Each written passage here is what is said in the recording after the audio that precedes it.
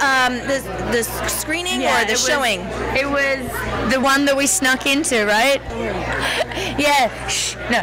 Uh, well, because technically I was thinking it's cool we're sneaking in, but really we were with people from Disney who really just have to say, oh, hi, we're from Disney and we're viewing the movie, and then we get to go in. But I thought it was funner when it was like we're sneaking in, uh, and we did do it, and we did it twice. Once before dinner and once after dinner, and it was really special because I got to see everybody's faces. I went in there without the glasses, so I wasn't watching it. I've seen the movie. I was just watching the audience's reaction, and they all just sit there like, like this little happy face watching the movie, and they're just so happy, which makes me so happy because it's just a fun film, you know. So it cheers people up, and everybody wants to be happy in life. So I would imagine that um, that's why.